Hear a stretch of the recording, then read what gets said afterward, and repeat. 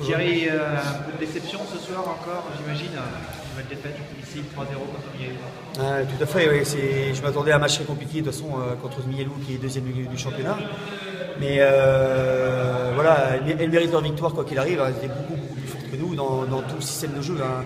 Placement, impact, euh, vivacité, ainsi de suite. Donc euh, euh, quoi qu'il arrive, euh, le 3-0 c'est le- le mieux qu'on pouvait avoir aujourd'hui. Et sachant que leur gardienne a eu zéro arrêt à faire, donc euh, c'est vraiment, c'est vraiment euh, pas cher payé pour elle. Donc euh, c'est vrai que beaucoup de déceptions et ce qui nous maintient malheureusement encore à notre dernière place de classement. hein.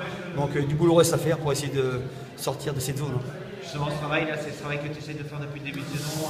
Des problèmes de l'entraînement, des problèmes effectifs, des problèmes. euh, Bah, problème d'effectif, euh, peut-être un peu, oui, mais c'est surtout problème euh, aux entraînements. hein. Le mardi, euh, avec deux trois éléments de l'équipe première à s'entraîner, euh, je peux pas avancer euh, vite. Et donc ça reste très compliqué. Et le vendredi, euh, à part on va dire vendredi dernier où je me suis retrouvé avec tout l'effectif de l'équipe 1, là j'arrive à travailler, mais c'est vrai dans l'ensemble, je me trouve euh, avec trop peu d'effectifs de l'équipe 1 pour pouvoir progresser dans, dans l'avenir. Donc ça reste très très compliqué. hein. Donc maintenant, tu commences à regarder vers les euh, systèmes de play-off, qui vont. Ben, exactement, voilà. euh, indirectement, le championnat est encore long, mais on, on finit, on finit par y penser. hein. J'en ai parlé aux filles dans les vestiaires. Voilà, euh, elles y pensaient elles aussi, sachant que voilà, on est, on est à notre place quoi qu'il arrive. Euh, comme je dis, tant qu'il y a de la vie et de l'espoir, maintenant, il faudra que les filles travaillent dans leur tête et puis euh, individuellement et à parler entre elles aussi pour arriver à faire quelque chose.